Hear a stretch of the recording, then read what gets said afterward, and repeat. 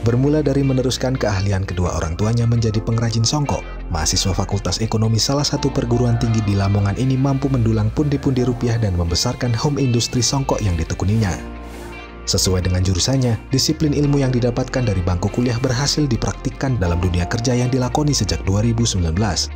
Kala itu, ia melihat kedua orang tuanya, Anissa dan Arianto, tidak ada perkembangan secara ekonomi saat bekerja di sebuah perusahaan songkok mahasiswa semester akhir bernama Niken Anggraini akhirnya memutuskan untuk memproduksi songkok sendiri. Dengan ditemani kakaknya, Jerry Ardiarta, Niken nekat mulai berani mengambil alih pengalaman kedua orang tuanya. Niken dan Jari kemudian mulai memproduksi songkok dan langsung mengeluarkan beragam motif ke pasaran. Semangat Niken membuahkan hasil dengan 20 karyawan, ia mampu memenuhi permintaan dari beberapa daerah di Indonesia.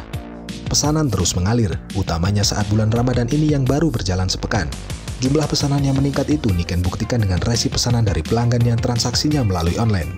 Harga songkok produksinya dipatok mulai dari Rp26.000 hingga Rp70.000.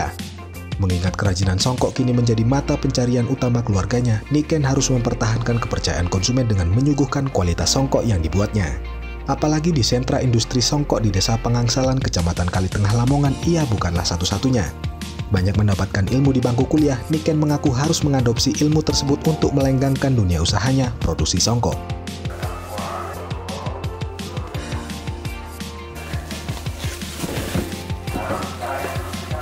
Awalnya tahun 2019 itu membuka brand sendiri kebetulan dan e, penjualannya pertama itu di Facebook.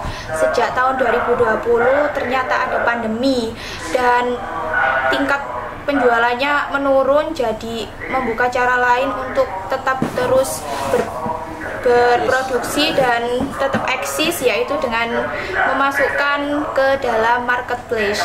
Sampai tahun ini alhamdulillah penjualannya sangat-sangat lancar. Uh, apalagi di event bulan Ramadan tingkat penjualan jauh lebih drastis daripada hari-hari biasa Obrigado.